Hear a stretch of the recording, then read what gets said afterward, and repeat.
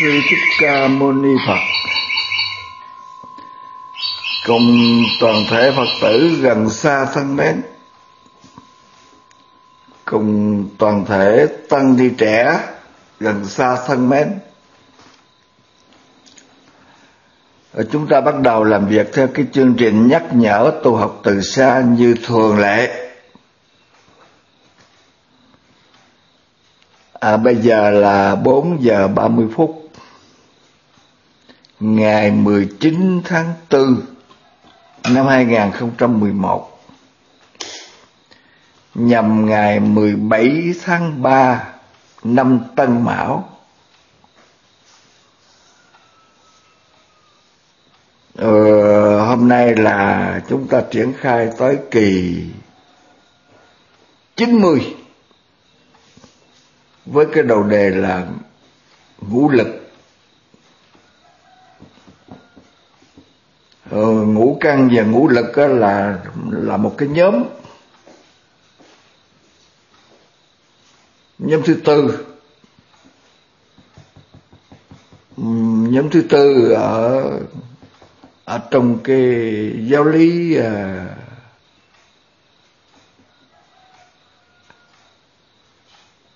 đạo đế. Ờ, nó nó nó là cái nhóm đạo nó thuộc về đạo đế ở trong tứ đế.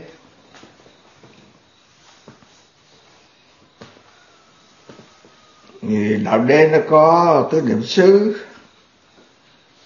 tứ chân cần, tứ nhị túc, ngũ căn. Ngũ căn là nhóm thứ tư và ngũ lực nó thuộc về thứ năm. Ừ, nhóm thứ năm ở trong đạo đế.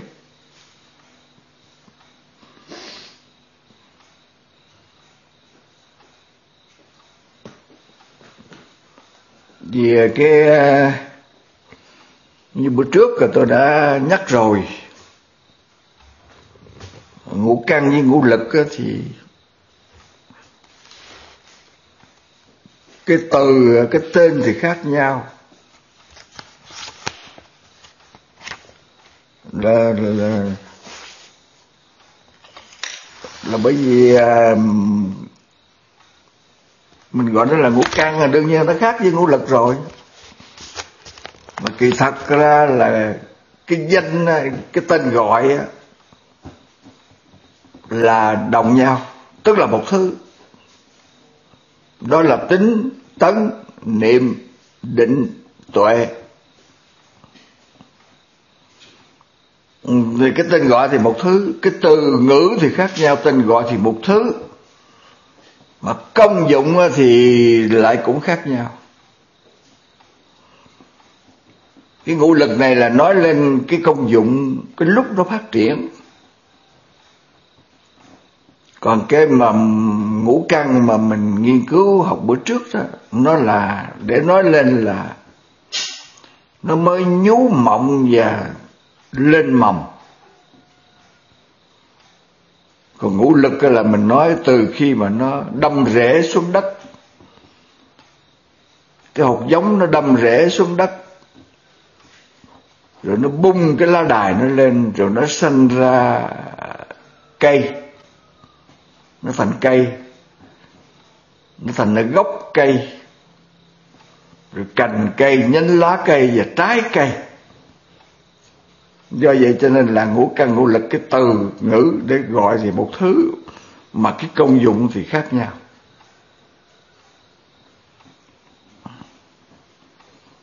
Trên bước đường tu hành của mình cũng y như vậy. Cho nên giáo lý của đạo Phật nó có cái hay.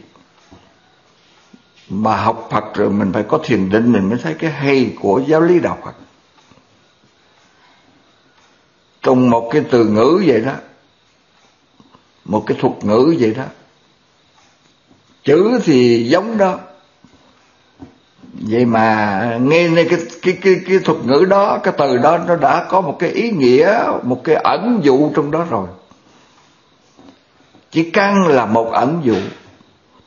Thì chữ lực cũng là một ẩn dụ.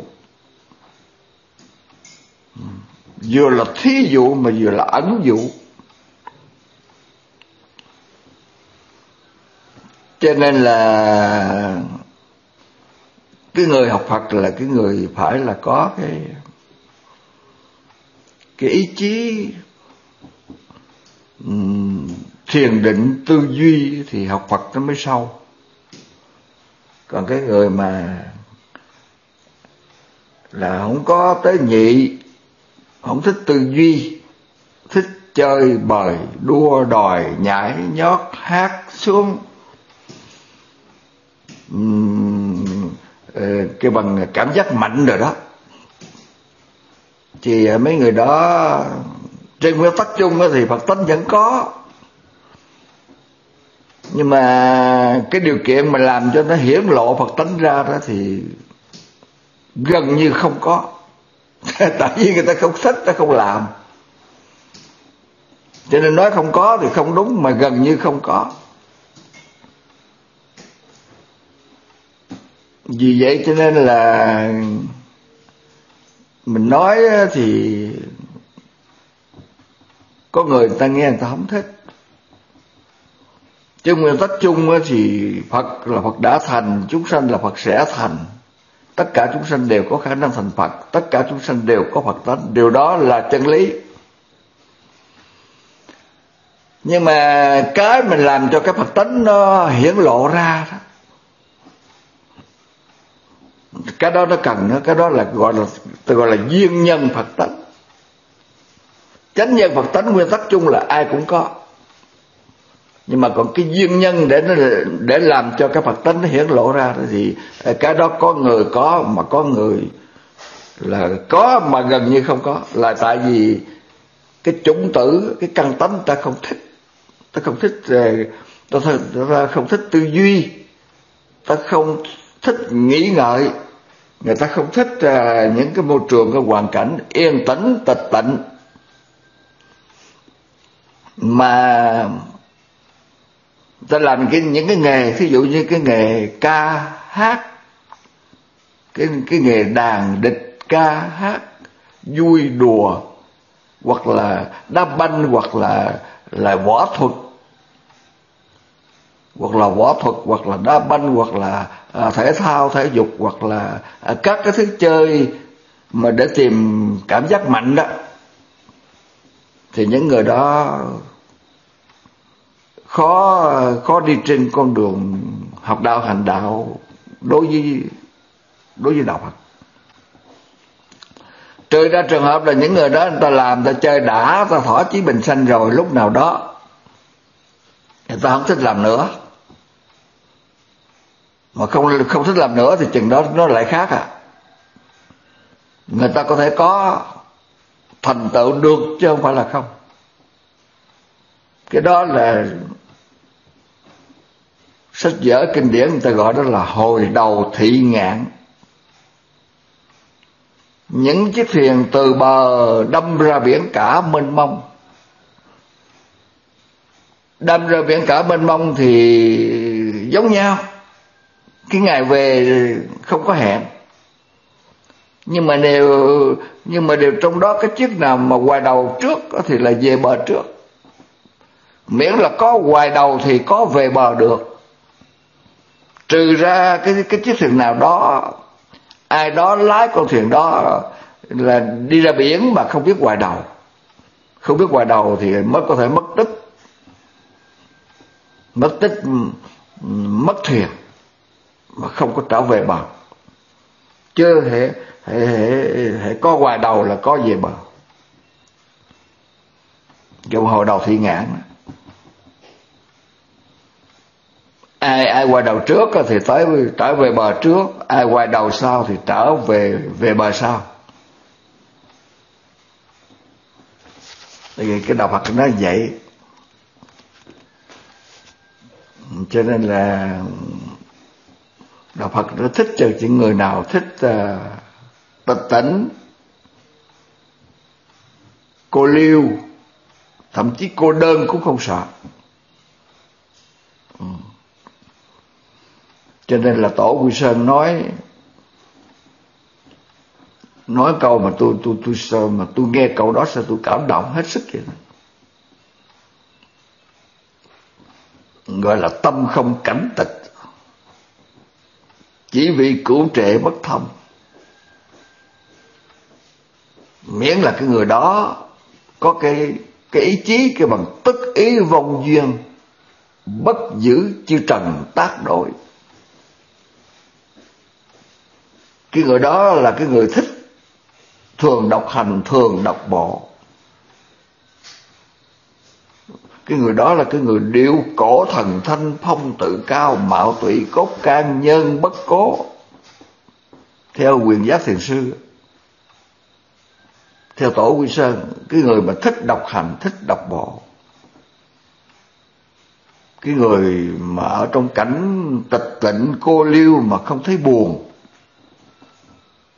Ừ. Cái bằng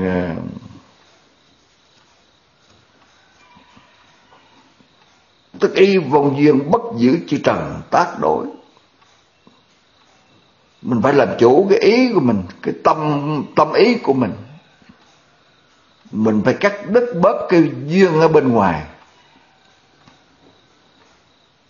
Cái duyên bên ngoài là do nó tác động, do sự thâu hút của tài, sắc, danh, thực, thùy do lục trần bên ngoài là sắc thanh hương vị xúc pháp. Nó tác động, nó lôi cuốn dữ lắm. Cho nên cái người tu hành là phải tức ý vong duyên. Phải ngăn ngăn chừa. Phải tránh phải tránh tránh tránh cái môi trường, cái hoàn cảnh.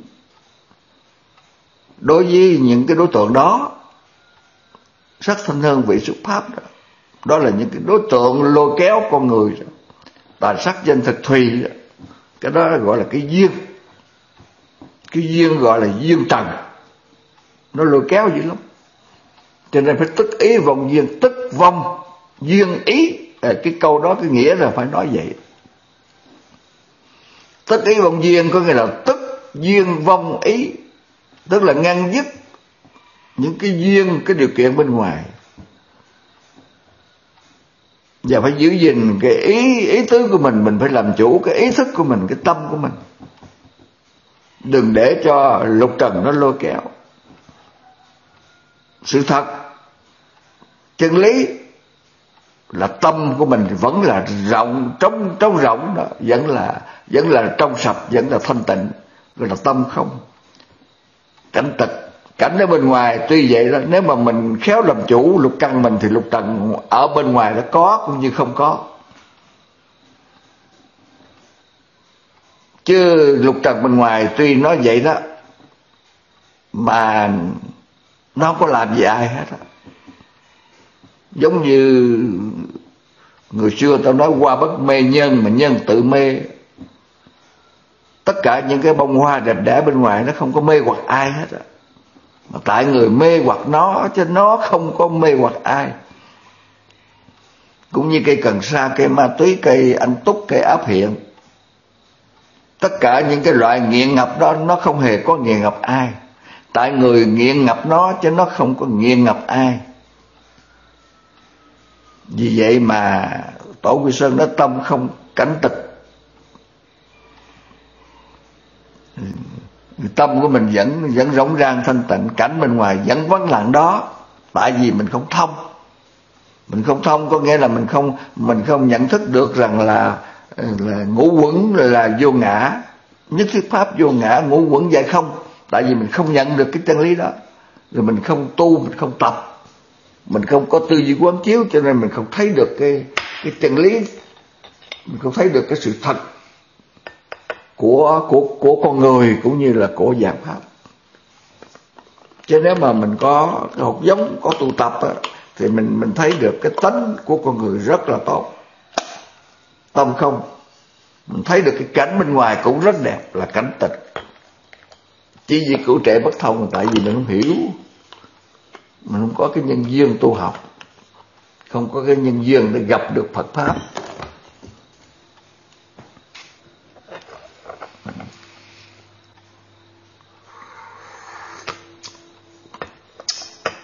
Cho nên nếu mà mình có nhân duyên mình học được Phật pháp thì mình sướng lắm. Có cái sướng thật sự có cái an lạc thật sự. Nhưng mà khổ cái cái là, là, là đã học Phật pháp rồi tìm được một cái cái chánh pháp là an lạc thật sự. Hết sức là là là quý báu rồi mà có một thứ cá chạy ngược. Cá chạy ngược rồi nếu mà nó nó đi theo, nó đừng chạy ngược thì nó nó thoát ra được và tới biển, mà nó nhẹ nó chạy ngược. Thí dụ như các tu sĩ mà nó nó vô đó tu rồi mà nó không tu nữa, nó chạy ngược lại, nó kiếm nào là thạc sĩ, nào là tiến sĩ. Rồi ờ, ờ, nó nó làm những cái quan này chức nọ rồi đó. Thành ra là cuối cùng cực khổ thôi thì nó bỏ mất cái cái cái bồ đề tâm, cái ý chí ban đầu đó, rồi tự nó cuối cùng là cực khổ. Cũng như là đem đem vàng, đem ngọc mà đi đổi lấy cát sỏi vậy đó. Có, cái cái thành phần đó có. Nhưng mà mong rằng là tăng đi trẻ là tỉnh thức. Đừng có đừng có làm cái con cá chạy ngược mình có cái nhân duyên mà mình tu học mà mình được đi trên con đường của Phật là phải nói rằng đường đó là con đường hạnh phúc nhất đó. biết bao nhiêu ừ, vua, chúa ừ, công hậu khinh tướng mà người ta còn buông bỏ, ta trở về gọi là hồi đầu thị ngạn đó. Người ta còn hồi đầu thị ngạn mà. Phật Phật giáo Việt Nam đã có như vậy, Phật giáo Trung Quốc cũng có vậy, Phật giáo trên thế giới cũng có như vậy có nhiều người ta làm vua, ta làm quan, ta làm giàu có đủ thứ rồi, cuối cùng ta thấy cái đó không phải là hạnh phúc chân thật. Cho nên người ta buông bỏ. Người ta đi đi đi vào con đường của đạo Phật để ta hưởng lấy cái an lạc, cái hạnh phúc của đạo Phật. Ấy thế mà có những con cá chạy ngược ở trong hàng ngũ của những người đã được xuất gia mà còn chạy ngược thì cái đó là cái uổng đó.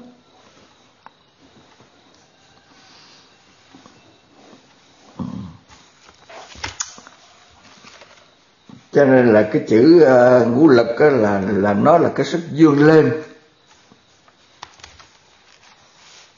Nó là kể từ khi nó nó đâm mộng rồi nó cắm rễ xuống đất rồi bây giờ nó thật bật lá đài lên rồi cái cây nó nó bật lá đài lên được rồi. Tăng ni trẻ để ý cái đó nó ngộ lắm mình phải quan sát đó. Một cái hột me một cái hột dưa hấu một cái hột lúa cũng vậy thôi à khi mà nó nhú cái mộng ra đó là là là căng á. Nó đâm cái rễ ra trước rồi nó cắm xuống đất. Mà chính cái đó là cái căng rồi mới bật lên mới có lá đài rồi mới lên cây. À, lên cây kể từ khi lên cây đó rồi lên, lên lá lên lá là thành cây thành cội đó. Cái đó gọi là lực đó căn và lực nó khác nhau. Mặc dầu nó là tính tấn, niệm, định, tuệ, nhưng mà căn và lực hai cái giai đoạn khác nhau. Để ví cho trên đường tu tập của mình cũng cũng có những giai đoạn khác nhau vậy. Tính tấn, niệm, định, tuệ là căn. Là rễ, chứ căn là rễ nhau còn chữ bản là là là cây, là thân cây. Còn chữ căn là cái rễ cây. Cho nên là giáo lý tứ đế là giáo lý căn bản của đạo phật là vậy đó. Là nó là rễ của cái cây và nó là cái thân của cây. Thì sau đó phát triển lên các thứ giáo lý khác đều là nhánh lá trồi tược của cây.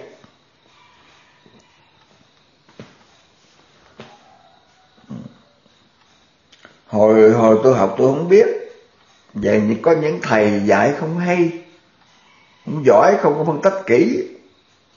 Nên thành ra ừ, mình dụng ý mình học cái bộ kinh này, bộ kinh nọ cho thiệt nhiều, đòi bộ kinh này, bộ kinh kia. Rồi, thậm chí là xem thường cái ờ, cái ngũ quẩn, cái tứ đế, cái thập nhị nhân duyên, đòi những cái kinh, cái tên cho dữ dằn. Nhiều tên, nhiều, chừng nào mình khóa chừng đấy hồi đó là tôi học mà quăng ra cái chương trình nghĩa là mười mười hai năm học.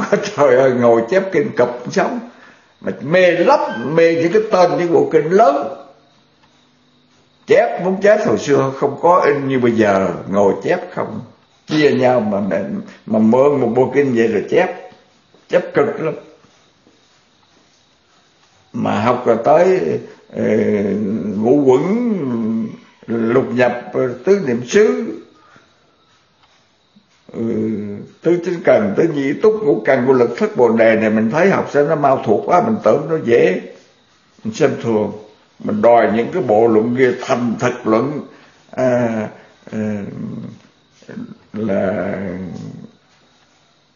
là là bát nhã ba la mật. Ừ, những bộ kinh lớn như là kinh quan nghiêm như kinh đại bá đại niết bàn rồi vậy đó thì thật sự ra không phải kinh đó là không hay.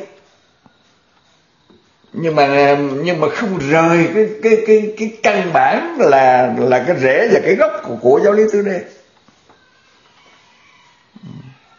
Cho nên là ta học có thiên kinh dạng quyển đi nữa nó có thể cần thiết nó cho ta những ý tứ để chứng minh những cái điều mà Phật dạy nó nhiều mặt lắm chúng ta học Phật rồi chúng ta có thể hiểu biết nhiều mặt của của của trần duyên, của siêu vật hiện tượng. Cho nên cần phải học nhiều là quý, chứ không phải là không. Nhưng mà cái căn bản đó là giáo lý tứ đế. Tại sao tôi nói vậy? Rất có cơ sở đàng hoàng. Tôi nói thì tăng ni trẻ để ý. Là là là đức phật mà khi mà thành tựu được cái cái cái cái cái cái tự giác. Cái tự giác của mình rồi, tức là mình thành phật rồi đó. Tự biết mình nhận thức chân lý của vũ trụ một cách hoàn chỉnh rồi đó. Đạt tới cái đỉnh cao không còn ai hơn rồi đó. Gọi đó là được cái cái quả, cái là vô thượng bồ đề đó. Vô thượng bồ đề có nghĩa là giác ngộ không ai trên ừ, Ừ. đạt tới cái trình độ giác giác ngộ đạt tới trình độ không ai còn ai trên nữa được. Không còn nói ai nói cái gì trúng hơn nữa được. Nó hết chỗ trúng hơn nữa được rồi. Giống như cái mặt trăng 16 đó vậy đó, nó tròn ổng vậy đó. Ai đó lấy cái cơm ba quay lần thứ nhất cũng cỡ vậy. Mà nếu ai đó lấy cái quay lần thứ hai cũng vậy quay lần thứ ba cũng cũng là cái đó thôi cũng tròn cỡ cái cái cơm ba đó, mà quay rồi là vì mặt tròn thì không còn cái tròn nào hơn nữa. Gọi đó là giác ngộ vô thượng bồ đề. Ấy thế mà khi mà đem làm cái việc mà lợi tha đấy, là cái thời pháp đầu tiên là đức phật dạy. Dạy bằng giáo lý tứ đế. Đức phật chưa nói cái gì khác. Và dạy thời pháp đầu tiên gọi là chuyển pháp luân Ừ, lần đầu tiên là giáo lý tứ đế cái đó thì tôi tôi tin rằng là phật tử nhiều người biết và tăng ni cũng nhiều người biết. Đọc ừ, ừ, có đọc một ít nhiều giáo lý đạo Phật thì đã nghe biết được điều đó. Năm, cái nhóm, năm anh em đạo hữu ông Kiều Trần Như, A Pháp Bệ là được học cái giáo lý tứ đế do cái lần sơ chuyển pháp luân của Đức Phật. Giáo, giáo lý tứ đế là nếu mà kêu bằng tam chuyển pháp luân đó hả? Nếu mà tăng đi học để ý cái đó đó. Đây là khổ. Đây là tập. Đây là diệt. Đây là đạo. Đó là chuyển pháp luân là thứ nhất đưa ra bốn cái bốn cái cái cái cái, cái mệnh đề. Đơn giản đây là khổ đây là tập đây là diệt đây là đạo. Đó là gọi là sơ chuyển pháp luân. Chuyển pháp luân lần thứ hai đây là khổ ta đã biết. Đây là tập. Ta đã ta đã đã đoạn đây là diệt ta đã chứng đây là đạo ta đã tu à, xin lỗi nha cái cái cái đó cái thứ ba nói cái thứ hai nói lại cái thứ hai là là đây là khổ các ông nên biết ừ. đây là, là, là, là nhị chuyển pháp luân tức là chuyển pháp luân từ thứ hai là là nói cái câu này trước. Đây đây là khổ ta đã biết. Đây là tập ta đã đoạn. À, khoan. Nói lộn hoài. Bố chẳng lẽ là già rồi nói lẫn dữ vậy sao? Mà cũng có thể già là lẫn người ta chết rồi kia mà. Người ta già tuổi này người ta chết rồi rồi mình mà, mà chưa chết rồi là, là hơn người ta rồi còn đòi gì nữa? Giờ tôi nói lại. nói lại ta chuyển pháp luân nè. Bắt đầu nói lại, nói lộn nói lại, nói tật nói lại. Sơ chuyển pháp luân đức phật nói rằng đây là khổ. Tức là chỉ đàng hoàng. Đây là khổ. Mười một món khổ đàng hoàng. Sanh khổ, lão khổ, bệnh khổ, tử khổ. Ái biệt ly khổ, uốn tăng hội khổ, cầu bất đắc khổ ngủ ngủ ấm si thành khổ, và khổ khổ, hành khổ, hoại khổ tức là nêu ra mười một món khổ. Đây là khổ.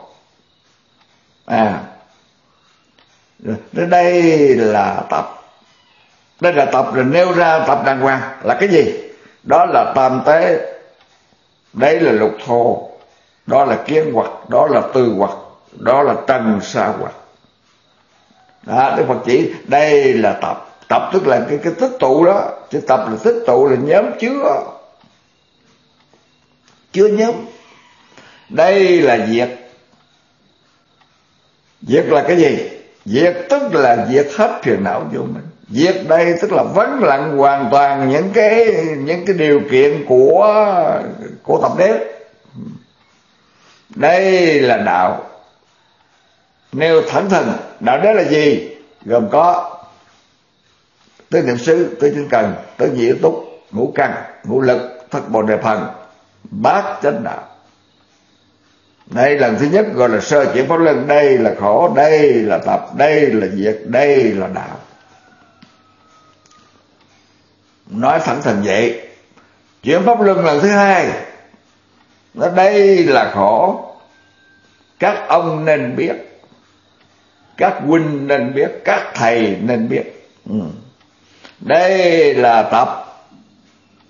Các các ông nên nên đoạn. Là cũng cũng cũng đưa ra cái tập vậy đó. Cũng là là tam tế lục thô, kiến hoặc tư hoặc trần sa hoặc vậy đó. Đây là tập các ông nên nên đoạn. Đây là diệt diệt tức là niết bàn. Niết bàn nó có hữu duy niết bàn, vô duy niết bàn, vô trú xứ niết bàn. Mà niết là không, bàn là là không có không có tam tế.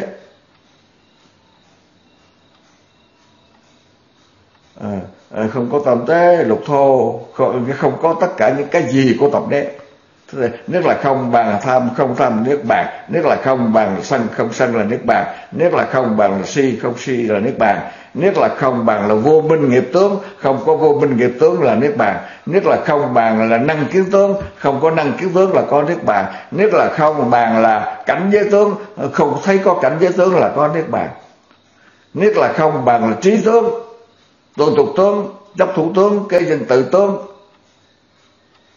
khởi nghiệp tướng nghiệp hệ khổ tướng nghĩa là không có thông tế lục thô là có niết bàn đấy để để là vậy đó.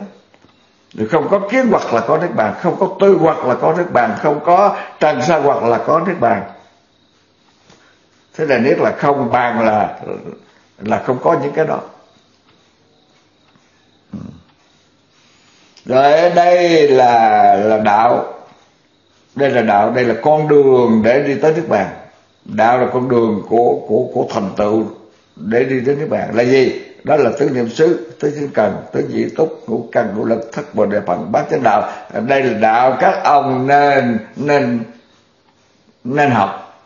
Các ông nên tu. Ừ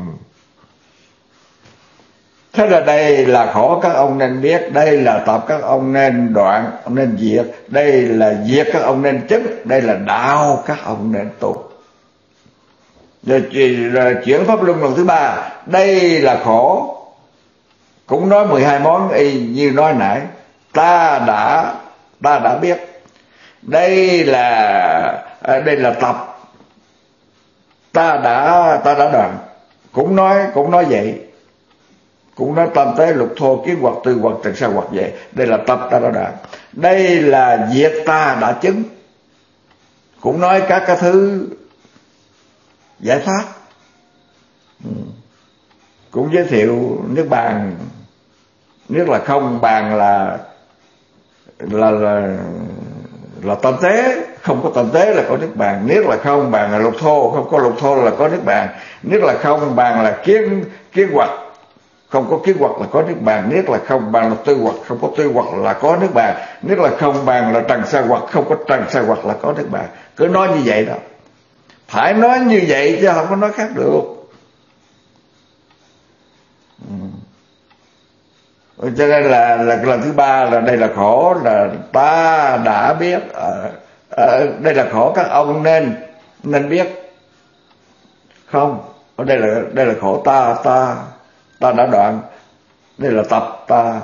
Đây là khổ ta đã biết. Đây là tập ta đã đoạn. Đây là giết ta đã chứng đây là đạo ta đã tu. Ba lần lấy lấy mình làm chứng minh. Là thứ ba là lấy bản thân mình làm, để để chứng minh. Học cái đó thì gọi là tam chuyển pháp luân. Mà đức phật có thành đạo rồi lần đầu tiên là đi đi dạy cái giáo lý đó cho nên là tôi nói với với đại chúng rằng là giáo lý tứ đế là giáo lý căn bản, không không không không phải tôi đặt đều.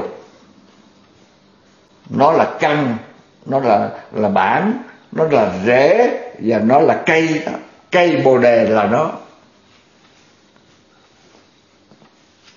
Cái bồ đề nó nó mọc rễ bồ đề, rồi nó bật cái gốc lên, cái hộp bồ đề, nó lên là cây bồ đề. Là giáo lý giáo lý tứ đế.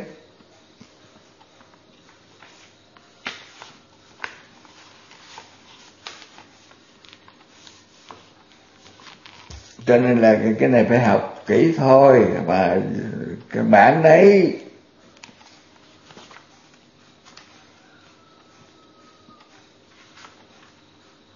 Mà đức phật nói như vậy đó là là nói ba lần.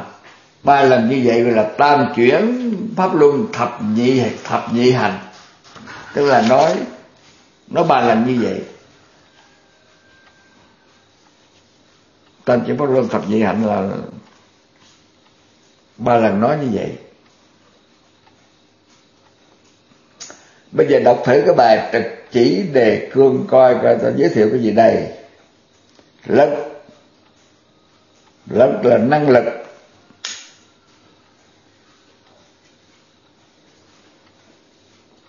Lực là năng lực.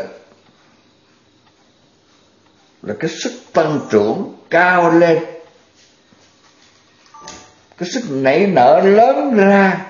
Nói về mặt cao lên thì nó cao lên mà nói về mặt lớn ra thì nó lớn ra.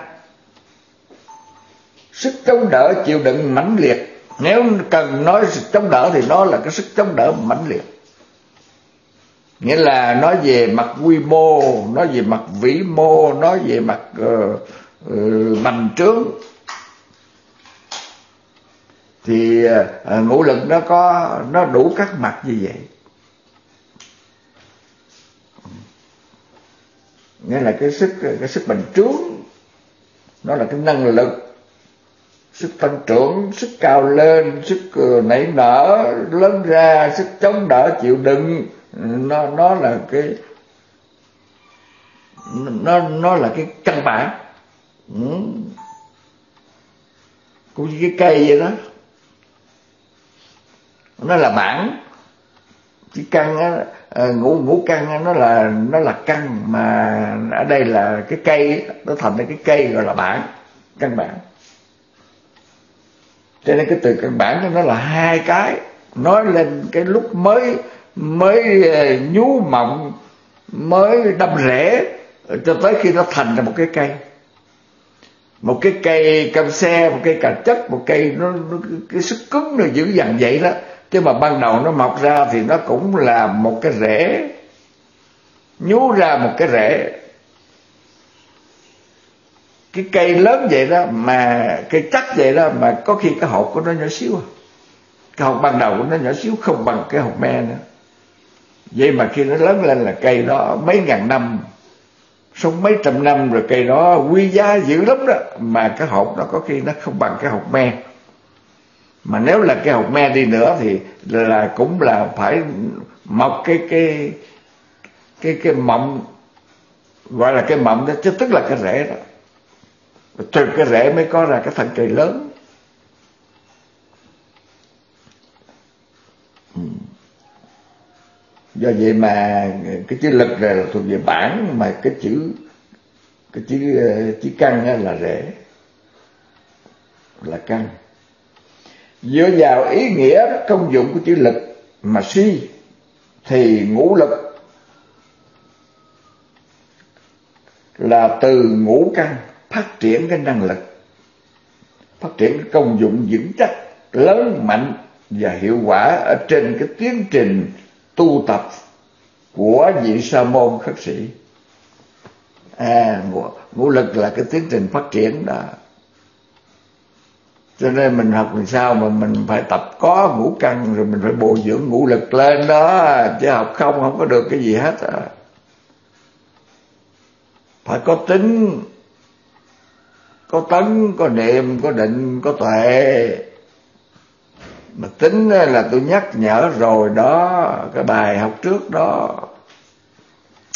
tôi nhắc nhở cho các phật tử biết rõ ràng đó coi chừng chúng ta, cái đức tin của chúng ta có trúng chưa? Chứ không phải là tin là là ào ào đi vô chùa rồi rồi gặp phật nào mua phật nấy, phật gặp phật nào quăng tiền ra thảnh phật nấy rồi đem về là trang trí cho đẹp đẽ để rồi lại lại rồi nguyện rồi cầu rồi cúng rồi gian rồi xin này. Cái đó là coi chừng đó không phải là đức tin là vậy đâu đó nha. Tôi nói cái này không có ông thầy chùa nào đó không biết hay là phật tử nào đó nó nó, nó nhắn vô trong điện thoại nó nói tôi sao lại nói thầy chùa? Nó nói tôi bộ không phải thầy chùa hay sao? À, tôi à, không phải thầy chùa hay sao tôi không có à, nhận tiền của ai cho hay sao. Ha, à, không có ngửa tay lấy tiền của ta làm sao mà nói thầy chùa không phải đâu. Tôi là thầy chùa chánh gốc. Chánh gốc từ nhỏ tới lớn là thầy chùa. Và một hơi một dạy học cho tới năm nay hơn 60 năm hoàn toàn là không làm một việc nghề gì khác. Thế thì tôi chẳng phải thầy chùa là cái thứ gì nhưng mà có cái là không có đi quyên tiền nha.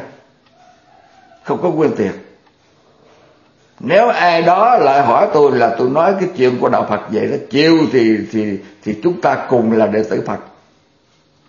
Còn không chịu à thôi chứ còn không có đi quyên tiền. Mà mà quyên tiền đi nữa là biểu tôi làm tượng Phật tôi không làm. Tôi không mua tượng Phật. Cho tôi nghĩa là hàng, hàng mấy trăm triệu cách đây mấy chục năm á mấy trăm triệu, bảo tôi làm một đức quan âm. Ngay trước nhà tôi đó vậy, người ta cúng ví dụ như quan âm đó là là là một trăm năm chục triệu, người ta cúng tôi ba trăm triệu. Nghĩa là một phần nữa làm để thờ cho người ta, rồi phần nữa sẽ chơi. Mà không không làm. Cái điều đó là có thật. Bởi vì đối với tôi là quan âm mà không có phải là mẹ quan âm. Quan âm là một phương pháp tu bây giờ tôi dỗ dỗ bàn tôi nói nè đây nè. Sơ dân trung, nhập lưu dông sở sở nhập ký tịch, động tĩnh nhị tướng liễu nhiên bất sanh, như thị tiệm tăng văn, sở văn tận.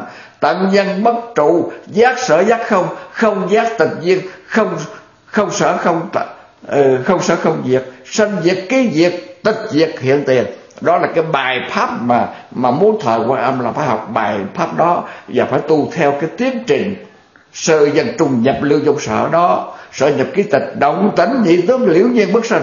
Như thị tiệm tăng, văn sở văn tận tận nhân bất trụ, giác sở giác không không giác tịch diệt không sở không diệt, sanh diệt, ký diệt, tịch diệt hiện tiền.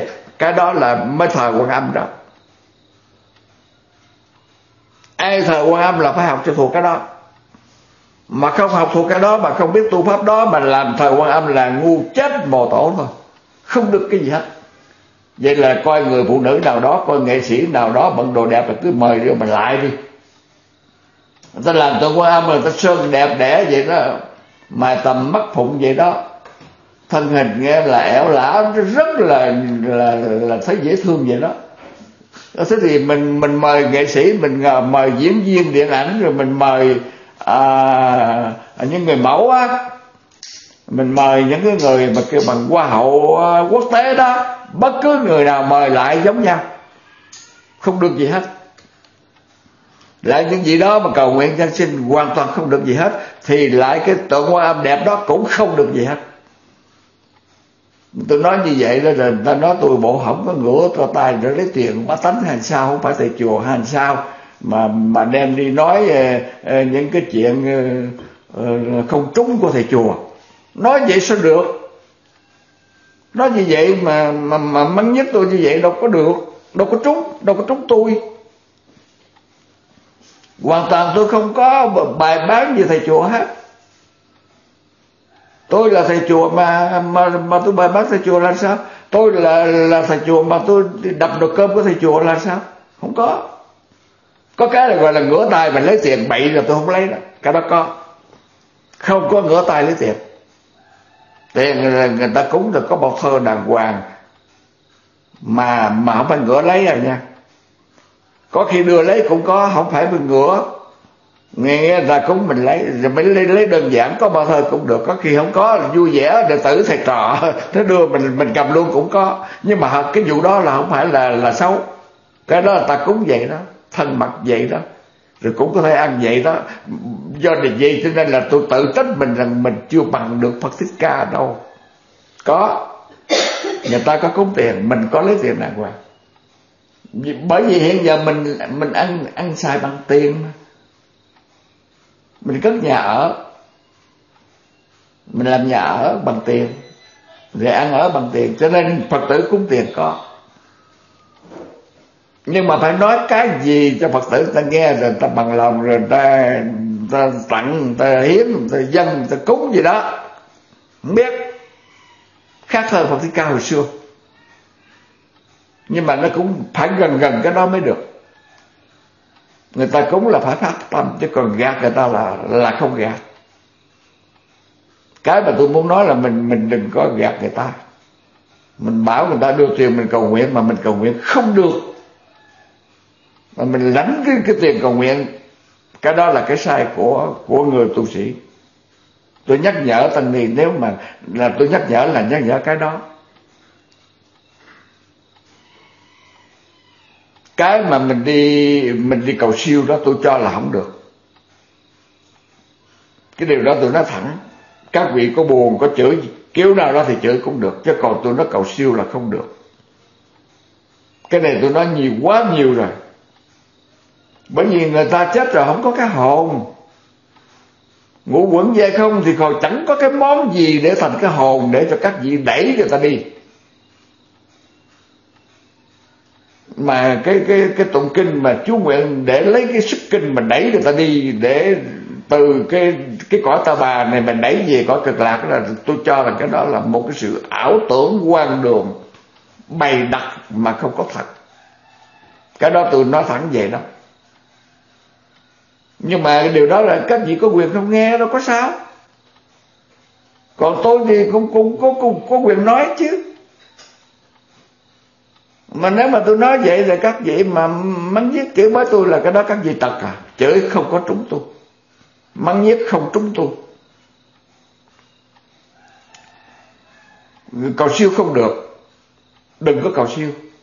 Ai cúng thì ăn mà không cúng thì thôi nhưng mà nói là nói vậy sao chứ? Tôi biết là các vị không cầu siêu người ta, vẫn cúng các vị ăn để tu đủ đó. Không bao giờ đói, không bao giờ lạnh đấy không đi cầu an. Các vị không lãnh cầu an cho ai hết. Mà tôi tin rằng là phật tử cũng không bỏ cho các vị đói lạnh bao giờ. Điều đó tôi thấy rõ ràng như vậy. Người, các bậc tiền bối ta nói rằng tu hành có phước là do cái cái đức của đức phật hồi xưa cái đó là là trúng cỡ nào thì tôi không biết. Nhưng mà thật sự là cái người tu hành mà mà thiếu dục tri túc đừng có đa dục. Mà đa dục là khổ thôi mà thiếu dục tri túc thì uh, duy tuệ thi nghiệp á là là vẫn đủ ăn đủ sống. Thậm chí là thoải mái nữa cơ cái tôi muốn nói với tăng ni trẻ cũng như với phật tử hiểu biết là cái đó. Cho nên là tôi có thấy người ta nhắn mà nhắn nhắn vô trong cái điện thoại tình cờ. Tình, tình, tình, tình cờ gặp thấy vậy đó. Nhưng mà nói gì không trúng. Tôi không bảo các vị không nhận của cúng. Khất sĩ là là cái người bằng lòng đi xin ăn cơ mà nhưng mà mình xin ăn bằng kiểu nào? Sống bằng cách nào? Đừng đừng có gạt gẫm người ta. Nói thật cho ta biết.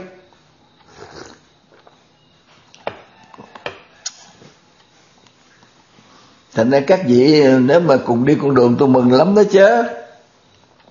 Tôi nói như vậy đây là là cốt là tôi nhắc nhở cho tăng ni trẻ nữa chứ tôi nói cái quá trình à, học của tôi, hành đạo của tôi tôi đã, tôi có đó khổ gì đâu. Tôi tôi không tôi không tổ chức à, cúng sao, cúng hàng tôi có đói khổ cho tới bây giờ, tám mươi mấy tuổi rồi đâu có đói khổ gì đâu. Không cúng sao, không cúng hàng không làm những việc bói toán. Bói toán là học nhiều thứ. Nhưng mà bảo mọi người đừng có tin. Ừ học nhiều thứ bói toán mà biểu người ta đừng có tin. Nếu tôi bói toán là tôi bói rồi cười chơi vậy, nói vậy thôi chứ mà bảo đừng có tin. Cũng sao cũng hạn, cũng biết rằng giỏi lắm. Nói là biết liền, mà bảo người ta đừng tin. Nói đạo Phật thì bảo người ta tin. Rồi người ta cũng vẫn ủng hộ cho mình ăn, mình tu được đó, không sao hết trơn tăng đi thử làm vậy đi. Đức Phật để cho ta cái phước gì không biết, nhưng mà hai miếng có tu là là có có đủ ăn, đủ đủ sống. Đủ sống cách nên là an lành, thoải mái. Còn cái mà làm tượng cốt là cái đó không có phải. Cái đó là tôi nói thật chứ tôi đâu có chống đối chi. Chống đối cái, nhắc nhở cái mà phải làm những điều đúng như đức phật. Để chi? Để cho mình có mình có giải thoát mình có nhẹ nhàng. Chứ các vị à, đi đi mượn xin tiền nhiều quá trời đi xin đi mượn có có, có người mắc nợ nữa. Mắc nợ để để để mua tượng phật tờ tội nghiệp mình chứ. Trong cái tượng phật không không có phật. Mà mình phải đi mượn tiền đi mượn nợ hoặc là mình đi xin hả? Cực lắm. Nó mất thể diện, nó mất nhân phẩm, nó nó mòn mỏi sói mòn đạo đức. Mà mình thờ những cái ông đó không có được cái gì hết trơn. Cái đó tôi nói rất thiệt vậy đó mà mà các vị không có suy nghĩ, rồi các vị nói tôi là chống đối ờ, trời Phật. Không có chống đối trời Phật chi hết. Cũng như quan âm mà gọi là mẹ quan âm là tôi tôi nói thật, sự là tôi nhìn thấy chữ đó tôi buồn vô cùng. Đâu phải mình mình quý quan âm rồi mình gọi bằng mẹ vậy đó, rồi mẹ thương mình. Bồ tát rồi không không được hay sao? Mình kêu bằng bồ tát vậy rồi bồ tát không thương mình nổi hay sao? Phải kêu bằng mẹ mới được. Cho nên cái chùa mà để mẹ quan âm vậy, rồi mấy cái người mà đi lại đi cúng rồi cầu nguyện đó mỗi người làm tấm tấm ờ, tấm tấm biển tấm biển để mẹ quan âm. Cúng ngày nào ngày nào cúng nhiêu tiền mẹ quan âm tôi thấy chữ tôi mệt quá. Mà chùa nào cũng quen giết rồi anh ta làm mình làm để mình mình cạnh tranh chứ. Nếu mà mình không có mẹ quan âm ở trước rồi cái rồi người ta ít cúng là sao cho nên là, là là chùa nào cũng mẹ quan âm đứng trước chùa hết đó.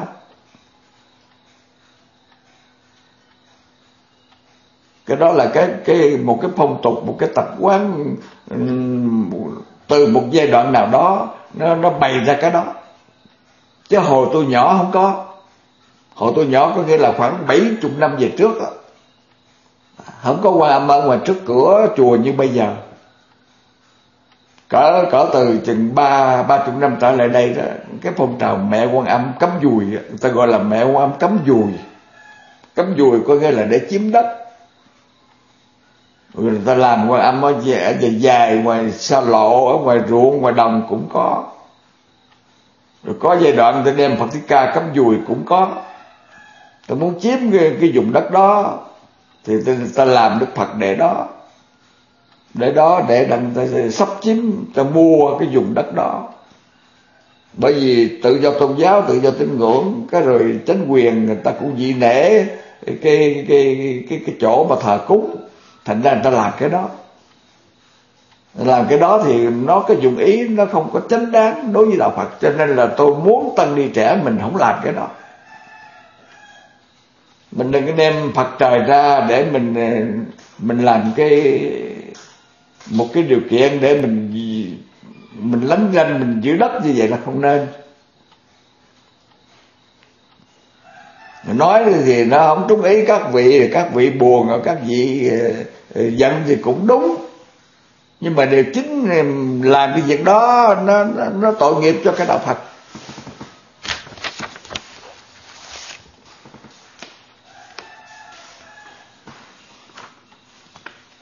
Cho nên là cái chữ tính tấn niệm định tại đây là tính tính là phải tính tự tính tha tính nhân tính quả tính sự tính lý. Phải học lại cái đó. Phật tử cũng vậy. À, tinh tấn. Rồi niệm định tuệ phải cho nó phát triển lên. Thế cho nên là tính tấn niệm định tuệ ấy là có cái tên là ngũ lực. Ngũ lực là là nói lên sự phát triển, bắt đầu từ cái khi mà nó nhú mộng. Để nó đâm rễ thì gọi là ngũ căn, mà khi mà nó bật cái lá đài, nó lên cây trưởng thành đó, thì gọi là ngũ lực. Để nói lên cái cái tiến trình tu tập của mình, phải tiến lên. Đức tin phải tiến lên. Tinh tấn mình phải tiến lên. Định mình phải thiền định nhiều hơn trí tuệ mình phải có phát sinh cho nên được gọi là vũ lực đó. mà nếu mà mình tu mà từ từ hồi ba, hai, ba mươi tuổi mà cho tới sáu, bảy mươi tuổi mà không có thêm cái trí tuệ nào đó là mình tu sai đây nha. Tinh tấn mình không có phát triển thêm là mình tu sai rồi đó. Chánh niệm mà mình không có phát triển thêm là mình tu sai rồi đó. Nếu mình tu thiệt là nhất định nó theo cái tiến trình.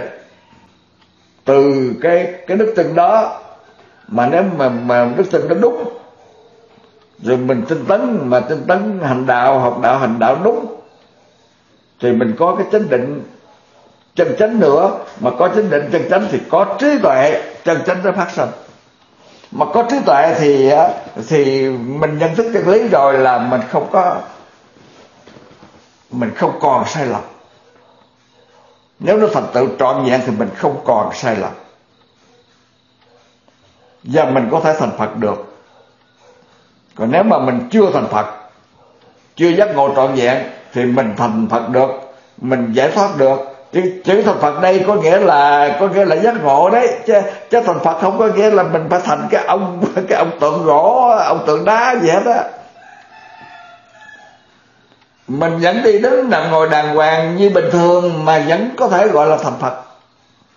Mà nếu mình tu đúng á, mình thành Phật tâm tâm. nhưng mà theo tôi thì chưa. Mình mình có thể nói là mình ít có người mà mà dám tự tin rằng mình thành Phật trăm phần trăm tính tấn niệm định huệ đúng, có. Nhưng mà thành Phật trăm trăm thì thì thì tôi tin là chưa chưa chưa thấy chưa thấy. Thí dụ như cuộc đời tôi giờ tính có tinh tấn có chánh niệm có tu định có trí tuệ có phải nói là có. Nhưng mà đạt tới cái đỉnh mà vô thượng bồ đề là là xin xin xin, xin cáo. Chưa chưa dám tự tự tin cái đó. Như vậy là tôi nói với các phật tử cũng như tăng ni trẻ đó chúng ta có thể thành phật năm chục phần trăm sáu chục phần trăm hoặc là tám chín chục phần trăm. Con đường giải thoát giác ngộ của chúng ta phải đi từ từ như vậy. Còn mà con đường mà trăm trăm đó, tôi thành thật tôi nói thẳng nè. Con đường mà thành phật trăm trăm đó là thí dụ như cỡ như tôi vậy nè. Mà bây giờ mà có cái môi trường, cái hoàn cảnh, cái điều kiện mà làm như phật thích ca vậy, thì có thể đi đi đi tới trăm trăm nhưng mà cỡ như tôi về mà biểu tôi làm mà tôi chưa tôi chưa làm được. Đó là cái gì? Đó là khất sĩ một trăm phần trăm. Chỉ có con đường khất sĩ một trăm phần trăm thì mới thành phật trăm trăm nổi. À còn mà không dám đi làm khất sĩ trăm phần trăm như phật thích ca thì tôi cho rằng là mình phải chừa phần trăm lại thôi à tôi thì tôi muốn lắm. Nhưng mà tại sao tôi không dám đi khất sĩ như phật thích ca? Tôi không dám đi khất thực hàng ngày rồi ngủ về rừng như phật thích ca. Là tại vì tôi còn cái ngã tướng chứ gì? Ngã tướng mà còn ngã tướng là tất nhiên là còn nhân tướng. Mà còn ngã tướng, nhân tướng, tất nhiên mình còn chúng sinh thọ giả tướng. Mình vẫn còn thấy có không gian, mình vẫn còn thấy có thời gian, mình vẫn còn thấy là mình phải sống thêm bao nhiêu năm nữa hay gì đó. Thí dụ vậy hay hoặc là mình sợ chết. Mình sợ chết khổ, mình không chịu nổi chứ gì. À do vậy mà không dám đi khất thực như phật thích ca. Mà không dám khất thực như phật thích ca là không có con đường nào mà đưa các vị tới cái chỗ giác ngộ, giải thoát vô thượng bồ đề được hết. Đó là ý kiến của tôi tôi nói thẳng với tất cả mọi người như vậy, cũng như tôi nói với bản thân tôi cũng phải nói như vậy. Tôi rất muốn làm mà tôi chưa làm được. Mà chưa làm được có nghĩa là tôi còn vì cái cái bản ngã. Tôi chưa chịu cực nổi như phật thích ca. Đành rằng phật thích ca là là đi khất thực quen là cũng có cực lắm đâu. Vậy mà mình chưa làm được. Mà chưa làm được có nghĩa là mình đừng có đòi hỏi một trăm phần trăm giác ngộ vô thượng được vì vậy cho nên là, là, là tôi muốn nhắc nhở tăng ni trẻ đó cũng như phật tử là để ý vấn đề tính tấn niệm định tuệ này nè ngũ căn ngũ lực này nè là chúng ta phải phải để ý mà tu tập đó. Tu tập để chúng ta hưởng phần trăm phần trăm giác ngộ. Bao nhiêu chục phần trăm giác ngộ bao nhiêu chục phần trăm giải thoát. Mà còn đòi mà mà thành phật là là chưa được đâu. Đừng có giái đừng có khấn, đừng có lại mất công. Coi cái hành động của mình là mình biết mình ờ, có giác ngộ hay không. Coi cái hành động cuộc sống mình mình biết mình giá thoát cỡ nào. Đừng hỏi ai hết à. Khỏi cần hỏi. Tính tấn niệm định tuệ, ngũ căn là rễ và mầm của hạt nhân ướm ướm mọc ừ. là rễ là mầm của hành nhân ướm mật.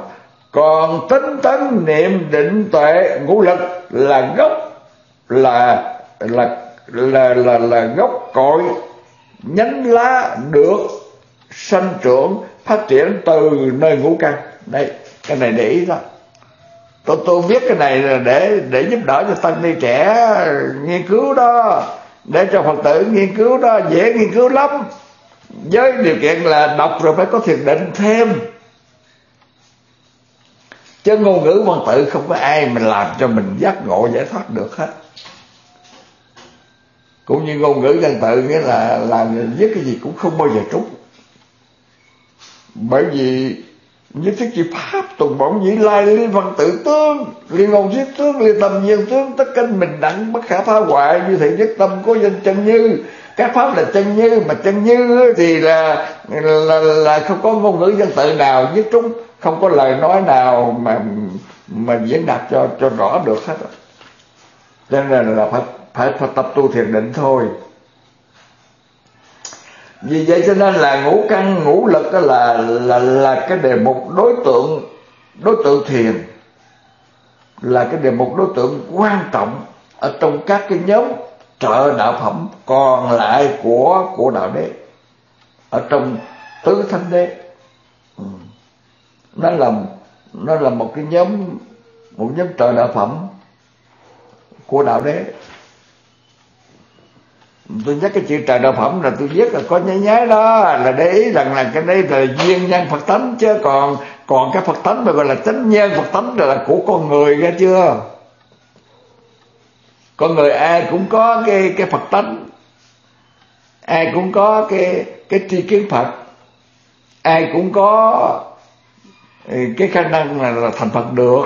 Vì vì mọi người ai cũng có cái tính nhân phật tánh rồi còn cái mà tu tập ờ, trợ đạo phẩm này ta gọi là trợ đạo là tại vì nó là cái cái điều kiện làm cho cái phật tánh của mình nó hiển lộ ra. Nó là duyên nhân phật tánh. Nó là cái nhân mà cái nhân để làm duyên.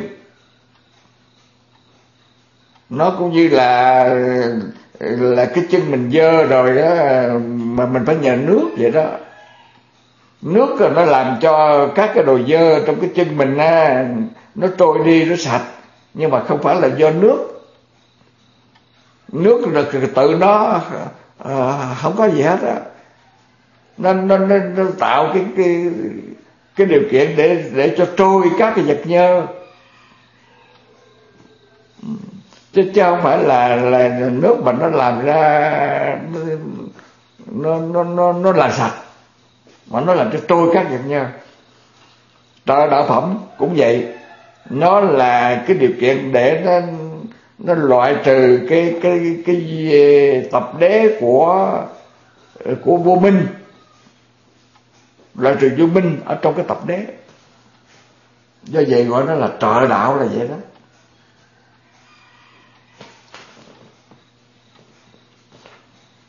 Thế thì à, bây giờ còn đọc cái bài nữa cái bài đây nhá. Cái bài đạo đế tham thiền à, về tham thiền 16 nó vẫn còn ở trong cái cái cái đạo đế.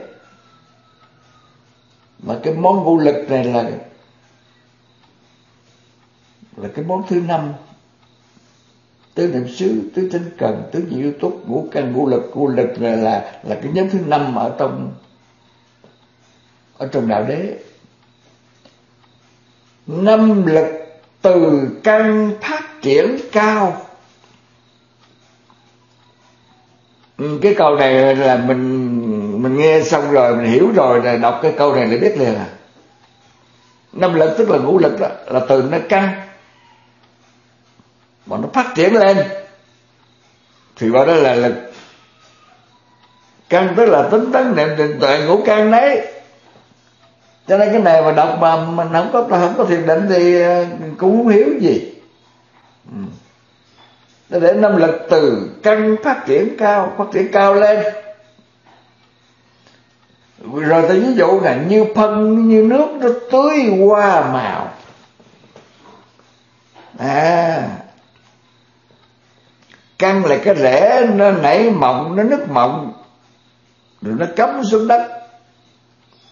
Cắm xuống đất rồi nó bật cái cái cái lá đài. Bật lá đài lên rồi mình nó sinh ra các cái lá, cái nhánh ở trên. Thì người ta ví như là phân, như là nước, tưới hoa màu vậy. Cho cây thêm lớn, hoa thêm trái, để mà thơ này nó nhắc nhắc về cái chữ lực là vậy đó. Ừ. nắm chắc năm cái môn vững bước tu. Nắm chắc năm cái môn, tức là tính tấn niệm định tuệ, ngũ căn. Rồi cũng tính tấn niệm định tuệ mà gọi là ngũ lực.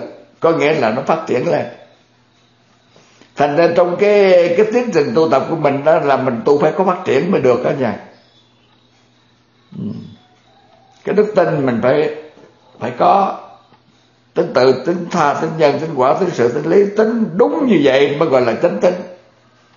Rồi từ đó mà nó nâng lên nó nâng lên cái cái đức tin của mình càng ngày càng sâu sắc càng già dặn.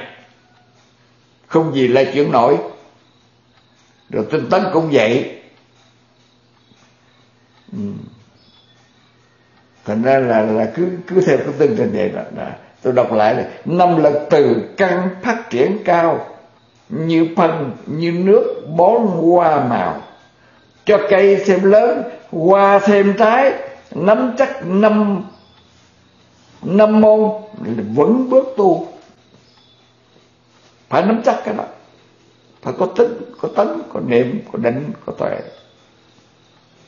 Chứ tôi nói tới mà buồn á. Bởi vì uh, tôi nói phải khoe khoang gì hết á. Và từ nhỏ tới giờ chuyên môn về học không à không có cất chùa. Không làm nghĩa trang nghĩa địa không đi cúng cầu an cầu siêu không làm gì đi đi vào học không à. Mà tôi tôi tôi tìm tôi tìm ờ, cái tăng ni mà đi có cái tâm mà đi sâu vào trong đạo Phật là cái nó khó dữ đó bởi vì tăng ni của tôi rồi bây giờ nó giàu gấp ngàn lần tôi không à. Chùa có người một hai ba bốn cái chùa. Có người có chùa trong nước có chùa ngoài nước nữa cơ. Còn phật người ta mua thôi quá chừng qua đổi phật đi. Ta mua phật nhiều lắm. Phật ờ, bằng à, là, là xi măng là bây giờ ở sài gòn này là bình thường rồi. Bây giờ ta mua phật ở ngoài ngũ hành sơn đá ngũ hành sơn đá nó nước rồi có người ta mua phật ở đâu ở ngoài, có có có thứ.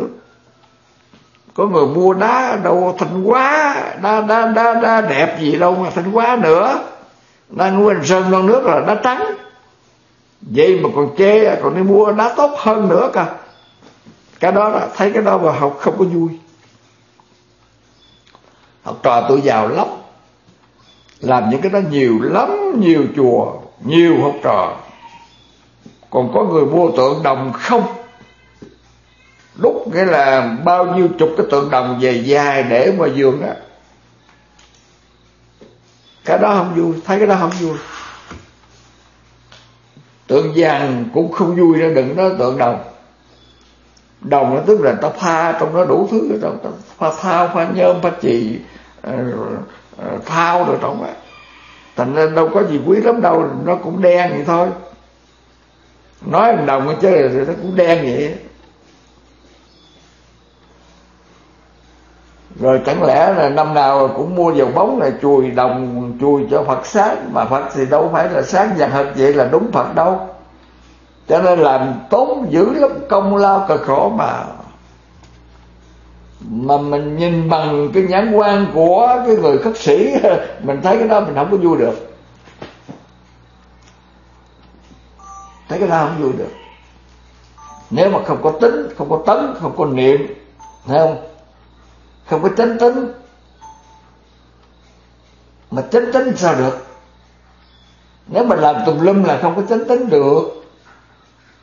Tính nhân tính quả, tu đạo phật là phải tính nhân tính quả. Mà cái nhân là phải, cái nhân giải thoát, rồi mới ra cái quả giải thoát cái nhân giác ngộ mới ra cái quả giác ngộ, chứ còn cái nhân làm chùa, cái nhân mua tượng, cái nhân là lại rồi cốt, cái cái cái nhân khất nguyện, thì làm sao mà ra giác ngộ giải thoát được? Cho nên là coi chừng tính nó có tính nhân, tính quả. Thành ra nói cái này là khó nói lắm, nói người ta chịu nghe chưa kể là nó nhắn ra tin, nó chửi nữa rồi. Nhưng mà có cái điều làm là ta chửi không trúng thì mình kể, nhưng không có chửi vậy không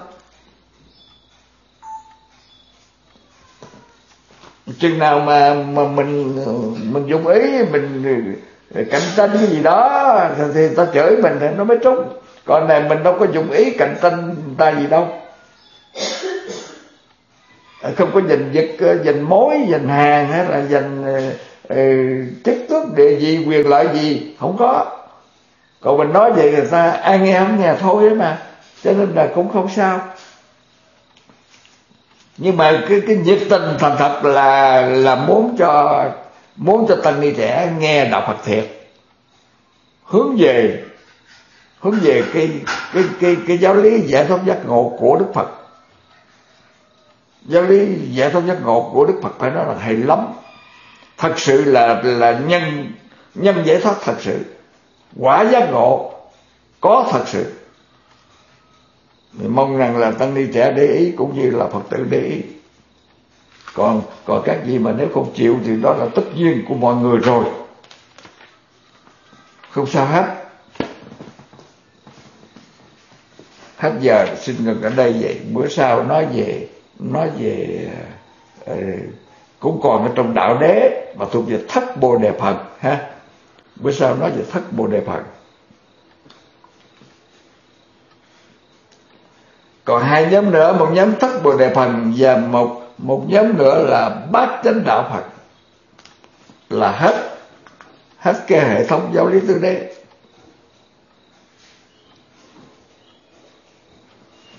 con xin gần ở đây chúc tất cả đều bồ đề tâm kiên cố, an lạc, hạnh phúc, tinh tấn. A di đà phật.